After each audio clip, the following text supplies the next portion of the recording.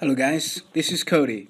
In this video, I'm gonna show you how to remove duplicate songs from your music library. On your iPhone or iTunes, get to the music library. Well, there probably have some, there are probably some duplicated songs that I, some I downloaded from Apple Music, some I imported from other location to the music library. So let's just check it. Well, all you need is just the Shortcuts app. Get the Shortcuts app and get this Apple Music Check Duplicates shortcut and open it to run this shortcut. This will define the duplicate songs and use the duplicates to create a new playlist. So let's just check. Go to music library and uh, playlist. Now you find the Downton songs playlist. See, I only have one duplicate song, so this is it. So I will just uh, delete it from my music library and remove remove from library. Then I have no duplicates. I just uh, delete this playlist. Then I should have no duplicates in the music library.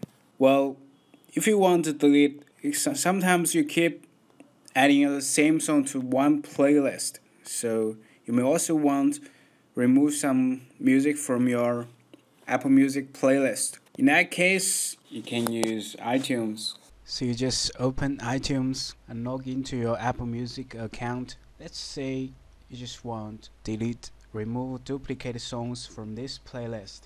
So you just select this playlist select this all music in this playlist and tap click file library and you will see the options say duplicate items.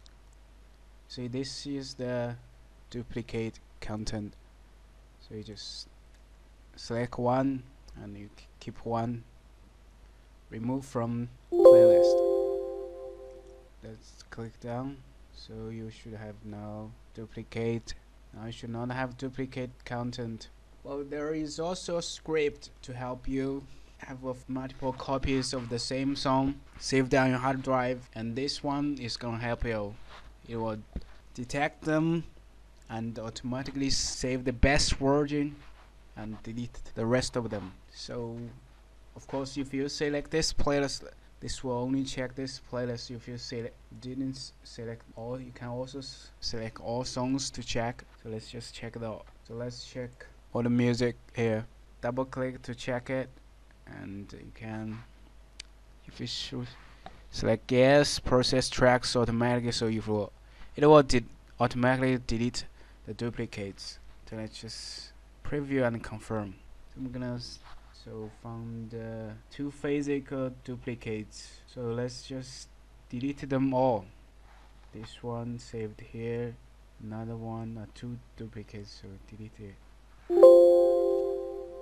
this will not delete the music that in the playlist but will delete the music that in the that actually saved two versions of or more versions on your hard drive. You can get this script from this website and just copy it open a new txt file paste the paste the script and save it.